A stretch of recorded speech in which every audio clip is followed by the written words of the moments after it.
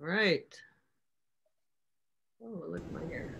Um, so who is joining us for discussion? Uh, everyone's welcome to turn on their camera, their video and their microphone or just their micro. Well, don't turn on your microphones actually. until it's time to talk. But please turn on your videos if you're going to join us for uh, for discussion. I have. Uh, oh, that was. This is the first time. All right, bye, Charles. Um, this is the first time that uh, we'd seen this also, so. Uh, it's fresh. but I did prepare some questions for us. Um, I'm going to try and pull those up on my screen. Um, but while I'm looking for those, does anyone want to offer a short sort of first thought about the movie?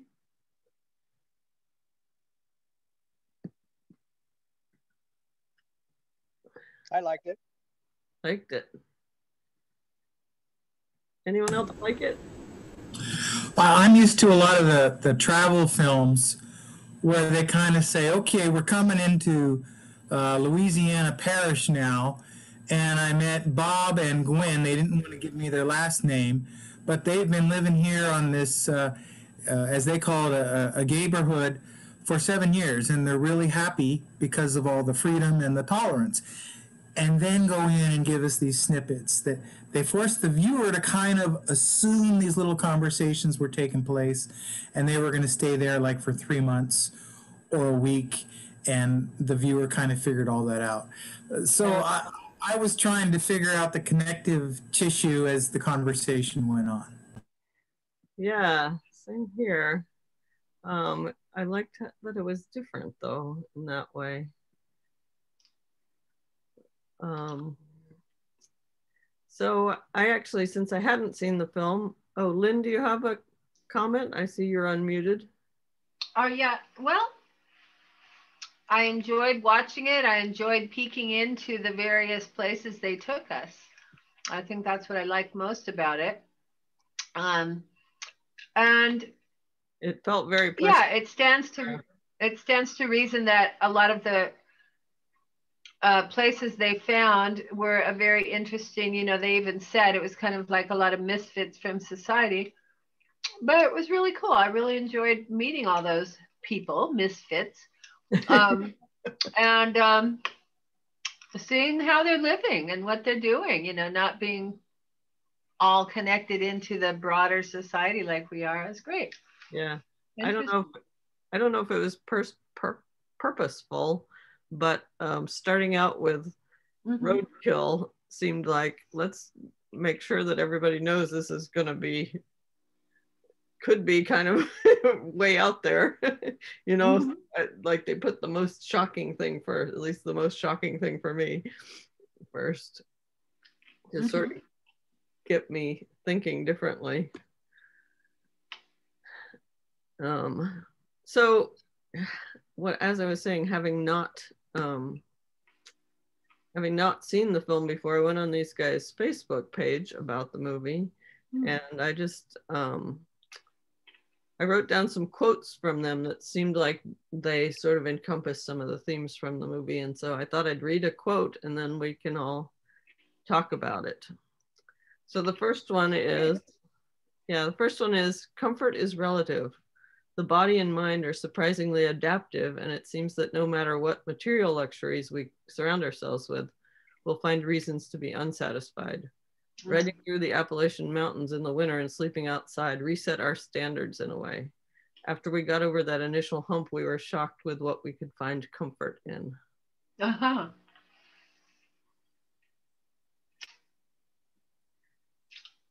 It's, it mm. feels like that's a little bit about sort of sustainability and self-sufficiency like you don't need as much as people often think they do Right.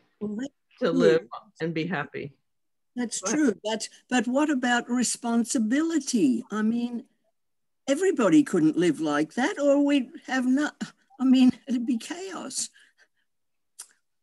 I mean, I I'm all for, you know, living low and um, and living high. Really, I mean, I have a very satisfying life. Well, before COVID, I did, but but I'm I live very I my one of my goals is to keep things out of the landfill, put as little as I can into the landfill Uh-huh.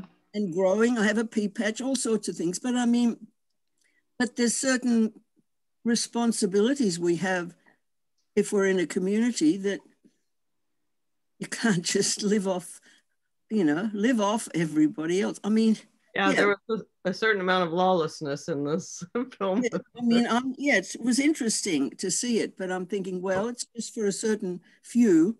But I mean, this isn't this isn't a way of life for. Well, you have to be wanting to be free of all things. But anyway, I mean, it's all very well, but Yeah. I'm nearly 80, and I, I mean, I've, I, lived on, I was brought up in rural Australia, and I I don't know how I ended up in Seattle because I married a Boeing engineer who was from Egypt. But I mean, it's I had no plans to come here or anything. And Seattle's lovely when it's lovely. But it's when it's like, you know, gray and cold and miserable, I think, what am I doing here? Yeah. But anyway, when it was sunny today, and that makes everything great. So but um but so it's it's good to a point but well it's good to see that they two years they they were on the road hey with their bikes and Yeah. just um went perambulating so i missed the beginning because i got home late i'm with access at the moment i haven't driven over a year and um and so they they got me home really late and so i should have been here for the beginning but anyway so um i'm just thinking i'm going to look is it on youtube is the film available do you think on youtube or It's on Amazon Prime. well i don't belong to any of those things Mm-hmm. Yeah, I think that's I the watch only place. From the library and I watch YouTube. Wonderful stuff on those. I don't. I can't even keep up with all the stuff there is available. There And may be there may be clips of it on YouTube, but I doubt the whole movie is there. All right. Well, that's that's the way I've done it too. Just looking Yeah. at clips, right? Sort of put it all together and see the highlights. All right. I might try that. Okay. But uh, the word recycle gets me because that's that's a big thing for me. But then I'm sad to hear that most of what's recycled just gets dumped anyway. They don't have any way to recycle it anymore, to reuse it. I know they said that in Australia when I was there last. I usually go every four years for six months, and I, I mean, I was shocked when people would toss things out, and I'd say that should go in the recycling. Oh, they just throw all that in the dump anyway. I said, oh, come on. And then I found out it was true. And then I get back to Seattle and I find out it's happening here. Yeah. Awful. it was the way that we um, sort of soothed ourselves by thinking that we were so much on top of things. But honestly, the first word is reuse. Yeah. Yeah. In the trine, it's reuse, recycle, no, reduce, reuse, recycle. Right. And um, I can kind of, I mean, I would feel a whole lot better if I thought the recycled stuff was going somewhere to be reused now. And I don't think it is, but I don't really hear people talking reduce too much. Hopefully, a lot of people are. The problem is, how can you reduce when everything in the store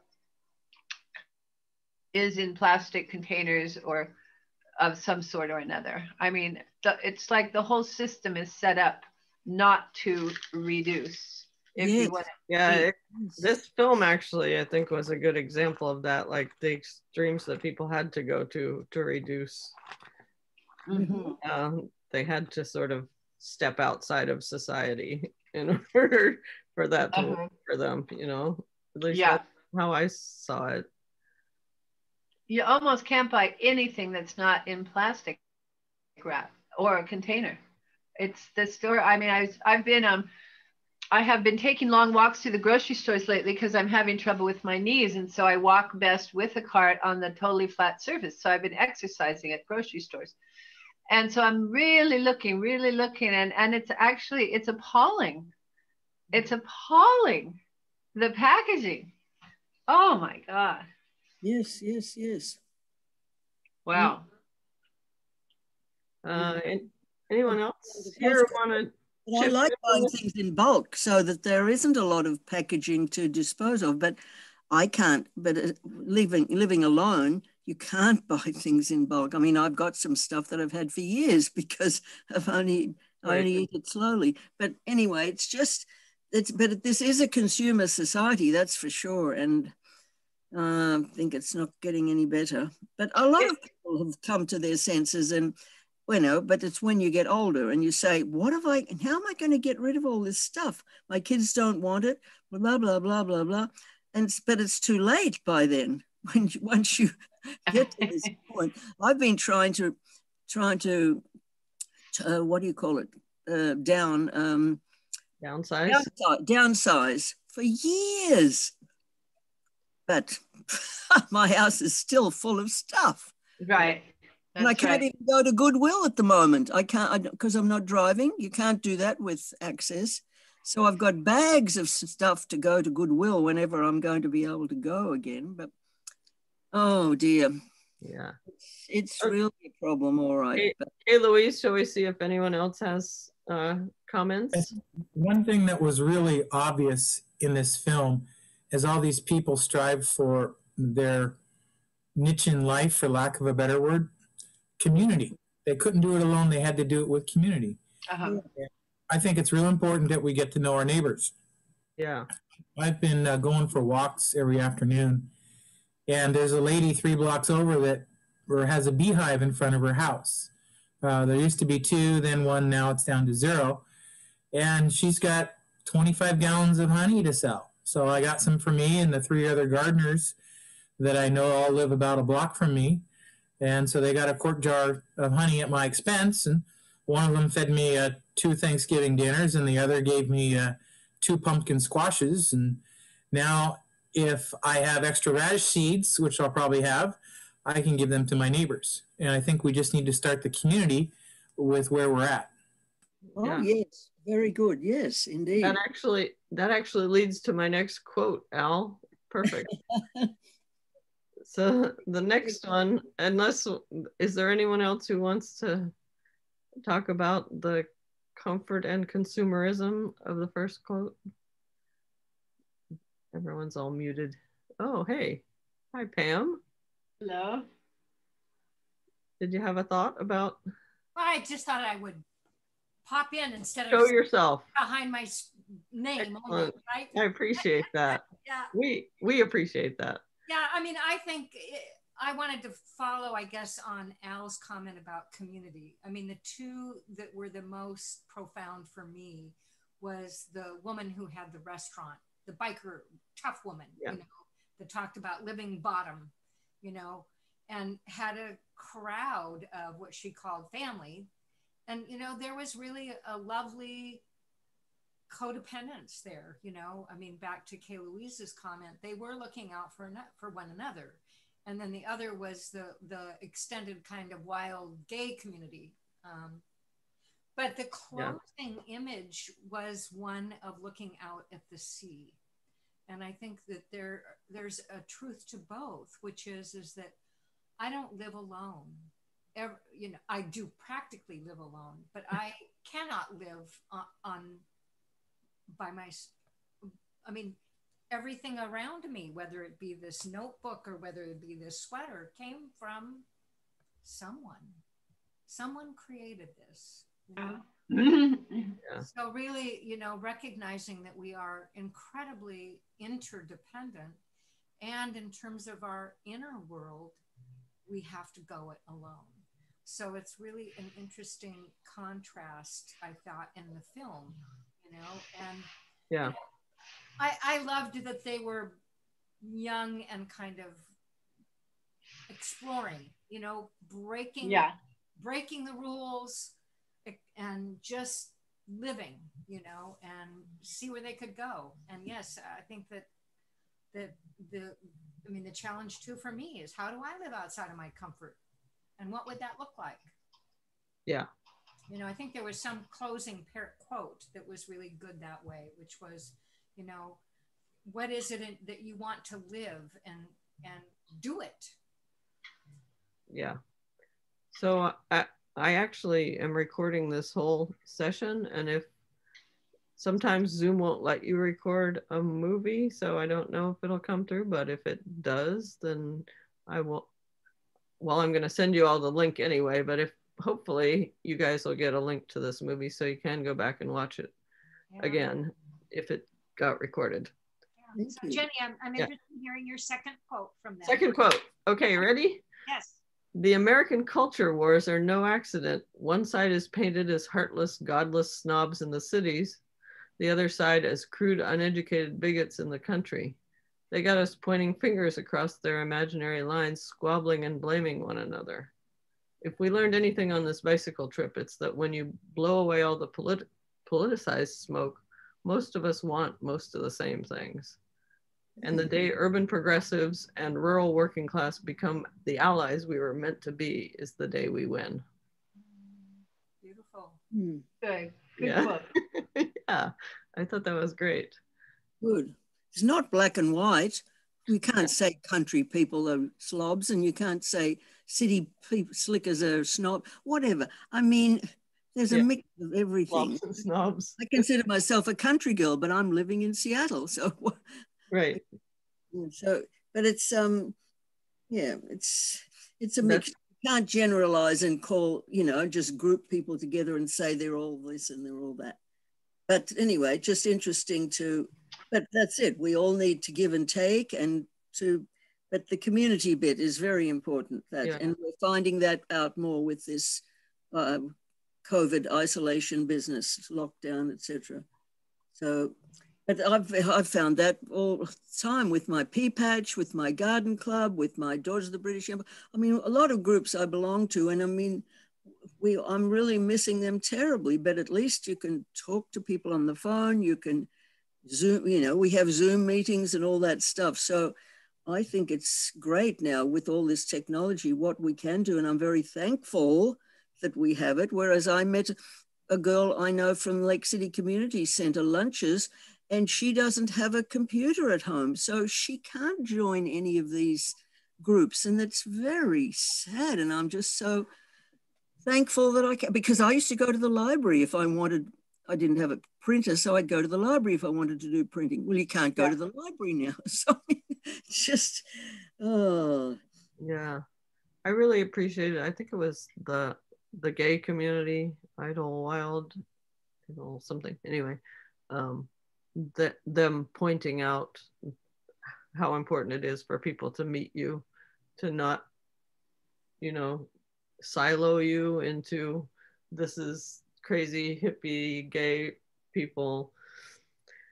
But then they were going to church. I think they were the ones that were going to church or community center and juggling and, you know, putting on a show for the the community and talking about being a part of the community. Mm-hmm. That's good yeah, were there other um, examples from this film that you all remember? So I, I, have a question of my own. What would the ideal community be? Yeah. And I heard one thing that you could uh, acquire your food without worrying about all the plastic that's on it. That would be great. that would be awesome other ideas, ideal community? Well, one of the things that they talked about several times was getting to know themselves through going on that journey. So mm. being part of the community, but also, you know, having the adventure and knowing themselves. Yeah, seeing yourself reflected in other people. Um, finding out what your comfort levels are and what you are able to put up with. Mm-hmm. Oh, and they also showed their own uh, having to encounter their own conflicts. That one place where they were under the bridge and well something about you know you reacted and I would you were angry and you know blah blah blah. It's like yep, there's a slice of being human, you know. yeah. Ideal community. Well, at this age, ideal community would be one that uh, has a very uh, uh, strong place for elders who may be losing this particular facility or that particular facility, but are still strong in talents and tons of things to offer and know-how and wisdom. Um, it's uh, like lately I've lost use of well, not totally, but um, I, I'm hardly able to walk. I'm toddling around with a walker lately, and I feel wow you know i don't have family that's going to take me in when i'm older and all this and that and uh, you know and it's scary so ideal community to me would be that um, you're accepted even at a lesser amount of a- ability to do the harder work or the bigger things. You did they just you just find the the new niche for yourself. Um, and that you're very well accepted at your whatever age you are. Yeah i thought that was reflected too in the um the biker restaurant mm-hmm. owner who was saying um i have people here if I need something, there's six tents out there and I can yell for someone. Um, mm-hmm. You know, having, I think that's another ideal community thing is being able to to exchange skills and yeah goods and knowledge and um, in a really easy way. Seemed like having lots of beer was pretty important too. yeah. Yeah, it was. Yes. yes. Make them happy. Greasing the wheel. Called, there's a thing called buy nothing, right? Buy nothing. Yeah. Well, there's in a lot of communities, and um, and so there's all kinds of groups um, that you can uh, be a part of. And so I, am trying to think of this one. I was in uh, Cedar Park, um, next door. That's what it was. Next door, Cedar Park.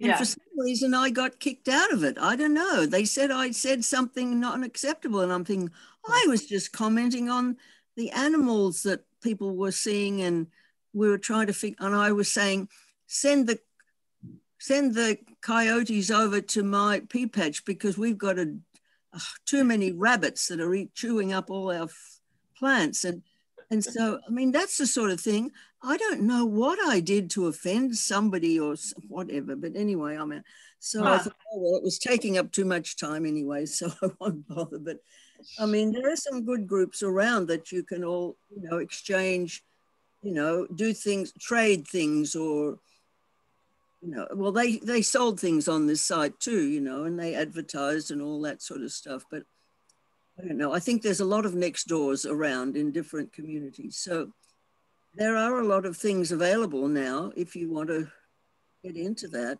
Yeah, it's, it's a matter of finding them. Yes. Hmm. So one of the things that really um, somewhat amazed me, um, and maybe it's because there's this environment right now between the rural and the urban conflict, is how many of these small towns have really been wiped out. And I thought it was interesting the comment about how the Walmarts and the larger big box stores came in and got rid of the mom and pops. Because I know it was about mm, six, eight months ago, I was reading an article about how a lot of the small towns, the big box stores have now moved out because there's not enough people for them. Huh. And they're starting, and these towns are like, we don't have a grocery store. We got to figure out how to do this. And so they're literally kind of going back to the mom and pops. But it's just, wow I, it just blows me away that we have so much richness in this country in terms of natural resources and people and talent and drive. And we're literally basically saying, you're not on the coast, there's just not a lot of value. And I, I don't believe that. But yeah. it, I don't really understand. I, I thought it was really fascinating how they kind of did bring a little bit of what is going on between the coasts economically and socially and culturally because we're definitely in a divide. And I just feel there's so much going on in the Midwest and so much resource there that we are completely walking away from.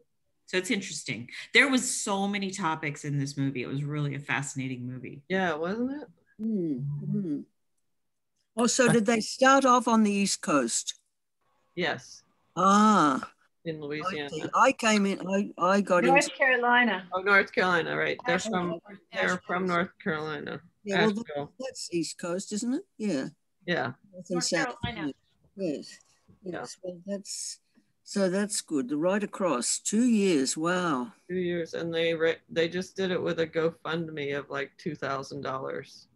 Great. The cost of the whole film was two thousand dollars. Two thousand three hundred and seventy-six, or whatever it was. Wow. Okay, but was there a cameraman? Because I have to admit, I was sitting there trying to figure out the logistics of this, and they got some great aerial shots there was definitely a cameraman along on the trip. Yeah, I don't know if they had a drone. They might have I had was going to say now they use drones. Yes, yeah. the drones are pretty popular. Hmm. Um, I think it was an airplane. What's that, Al? I think they also asked some of the people they met to take pictures of them. That was their camera person. Yeah, they saw, uh-huh. saw that happening. Um, but a woman they, that had the restaurant, where where was that? It was Texas. In the desert somewhere. Yeah, it was Texas. Yeah. Texas. Oh. Texas. Texas. I remember her. unusual name. What was it? Something Q U QUville, something Turkville. Something. Truckville, yeah. A Turk was some other unusual spelling. Yeah. Yeah. Yeah. These are real places. Yeah. So was there is there a real place called Ghost Town?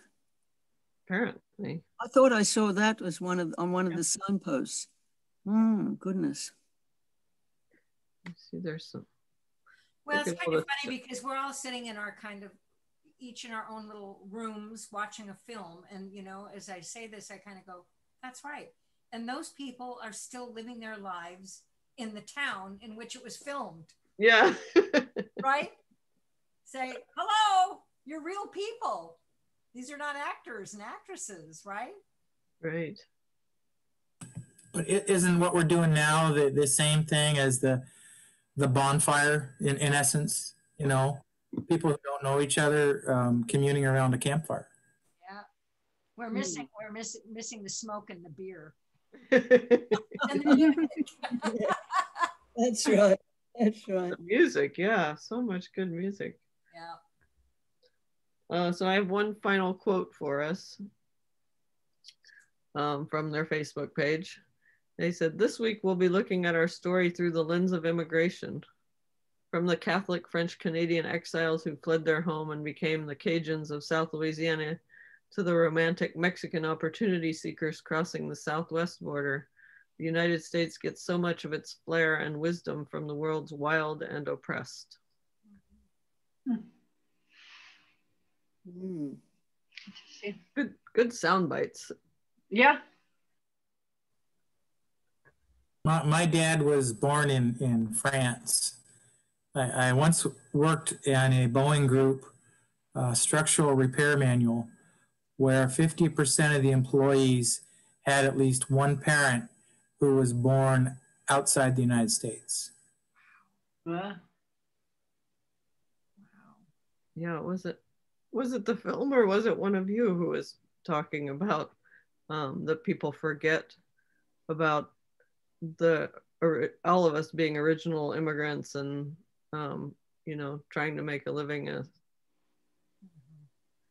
in whatever way we could well not not me personally but our our ancestors coming to the US and now people are well I guess people are always immigrants were often seen as outsiders for quite a while. Mm. Right. Mm. Yeah. Uh, some of us also have parents or grandparents who lived through the Depression. Yeah. You know, so that's another piece in terms of consumerism and comfort, you know. Boy, I mean, I know my mother said there were times when she had oatmeal for dinner. Sure. Yeah. Oh, well, that's one thing about being brought up in the country. I mean, you always had food because you grew food and you, yeah, yeah. So I don't know. So I just have always appreciated having a garden, a veggie garden, or uh, anyway. So my mother grew up in the depression, and so I inherited from her this uh, mindset of scarcity, which makes it very hard for me to throw anything away mm-hmm. because. I think everything I could use that for something, but it yes. But then you know, like with every the packaging on everything, like I have so much packaging in my house because I think, well, I'll use that for leftovers to give to someone to take away, but I have way too many leftovers containers.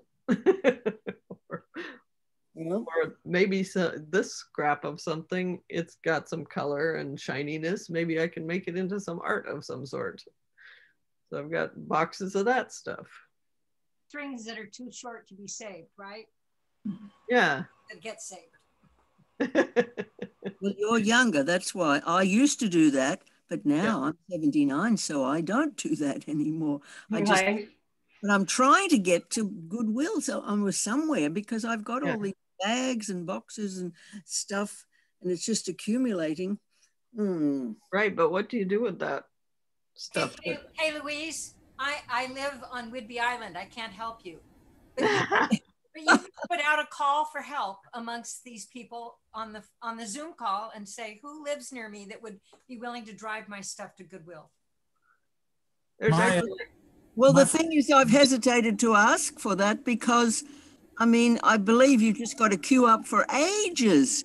You know, it's just it's, they've only got one line now. When I go by there with access, I look and I there used to be two rows two car lines of cars. Now there's only one. So I guess they don't have enough staff to man it. And so it just takes forever and a day. No, that's it. I I I just wouldn't wouldn't think that see my son comes to help me every Monday. He's here at the moment down doing laundry downstairs, but he he doesn't drive. He comes on the bus after work and so you know, I don't have anybody to anyway. well Okay, Louise, I actually heard, at least in Ballard, there's someone who's make made a business of um, socially distancing, picking up your stuff and driving it to Goodwill for $25. Wow. And they yeah. will they will take that hour that it takes to sit in line for you. Yeah, I mean to pay anybody to do that. I mean that to me is awful because I've got a car sitting. Well, it's got a dead battery, but anyway. So See, yes, I know. There are people. There are people who don't want to sit in line though, just like junk, you. Got junk, you know. They they will do. People will do things for a, a price, right? Mm. Yes. Mm. I thought it was very enterprising. Yes, well, it, gets, it gets the stuff to Goodwill, which is the end goal. So. My 4-H group is putting together a module on tying knots. And so if, if people have strings or rope, uh, that comes in handy. Of course, that's just a fraction of what we all have. Yeah. Yeah. We'll we'll mail that. I'll mail you some string up to Lynnwood. you know, it's kind of interesting the idea of how can we because the thing is we all go, oh, I don't want it, I'll give it to Goodwill. And that's kind of like the general dumping ground. But um when you start looking at nonprofits who if you spend a little bit of more time and it does take time you know you can start seeing things like second use or recreative in um, greenwood i mean they take they literally take empty pill boxes they take you know half open glue bottles and you know what if you need some glue it's like a quarter. So it's a great way to get stuff too but you do have to look a little bit further than goodwill. But sometimes you can find some really interesting and as you said innovative people out there doing things to reuse things. So okay maybe you just gotta look a little bit deeper. I, I think it's there but but you might have to pay if you're not willing to do any of the work yourself unfortunately. Well i can't. That's it. Because i'm i've got all these infirmities wrong with me that's the thing anyway even walking so anyway but anyway i'm still working on it. I'm still bagging stuff up and whatever. So I'm hoping one day to be able to move it. I'm putting these uh, quotes in the chat for you guys in case anyone wants to cut and paste them, keep them. Yeah, I can't even do that. and well, I will I will email it afterwards as well, along with the recording of our discussion. Hey Jenny, I have a question. Yeah. Um, last month I volunteered for a Sunday dinner um, out of a church, and um, a lot of groups that um, serve food to um, the homeless, and uh, it seems like a uh, um, um, a standard kind of thing where you flip the thing over and stuff like that, but it's insufficient for um, putting any kind of liquid, um, even a wet pasta and stuff like that. Um, and I don't know if. Yeah, it all has to be compostable now. So that's hard. Yeah, but uh, I don't know if there's another uh, grade of, of um, you know, packaging that is still recyclable, but what we have now um, you leave it on a counter for a while and it just folds up, you know, and and you can't keep serving dry pasta all the time or it'll end up, you know, in the street because the people won't, you know, won't eat it because they yeah. want to have more than just that. So I guess my question is, I don't know if anybody knows about this packaging that is used for takeout, and that's essentially what it is that we give to transients and homeless people but uh, some of them can't even get 10 steps with it and, and it collapses, you know, and yeah, um, the problem so it's a real is, issue. I think yeah, someone should take the lead on. Yeah, I think that something recyclable would work for us, but unfortunately that doesn't work for uh, the population that are receiving them because they don't have anywhere and or they won't take the um, containers to be recycled. So it really has to all be compostable. Mm-hmm. And that compostable stuff just uh, it can it can hold up to cold liquid, but it, the hot liquid is really the problem. Pam, did you have something? Oh, to... well, I was going to say PCC has done a great job at investigating product packaging that's compostable. And I know they went to a cornstarch you know, rigid plastic kind of stuff that feels like plastic. Yeah. But I don't know that it would hold up to heat. Yeah. I think yeah, exactly. Well, you just have to cool things off first before you put them in the yard waste bin. No, we're talking about before handing them to someone to so that they can eat it. Right? Oh, to carry with them. Yes, to carry with them exactly. Well, they don't want to be handing out cold food in the middle of winter. well, I mean, I get my box lunches from Lake City Community Center, which is HIP, Hunger Intervention Program, and they come in these box, uh, cardboardy sort of boxes. Yeah. They have soup, you know, hot soup in these other sort of little whatever bowls they are. And I mean, I used to put them in the yard waste. Now I put them in my fireplace and burn them. Hmm. So yeah. I don't have any problem getting rid of stuff like that. Great. Hmm. Well, I'm going to say goodbye, folks. It's been really yeah. lovely. Thank you so much. I really appreciate the film and the conversation. Thank you. Yeah, yeah. same here. Thank you. Any, I'm I'm uh, I'm out of quotes for you all. So, unless anyone has any more um, thoughts that they'd like to share with the group, I think we can call it an evening and uh, and stop break. My back is hurting too from leaning forward. So. well, have a good week, everybody, and thank you so much for hosting this. Yeah, yes. thank you. Thank you, everybody. Yeah, I think that was a great conversation, and I appreciate you all staying around for it. Mm -hmm. Very good. Thanks also to you all. Very good. Thank you. Take care. Okay. Stay safe. Good night. Good night. Thanks again, everybody. Yes, indeed. Take care. All right.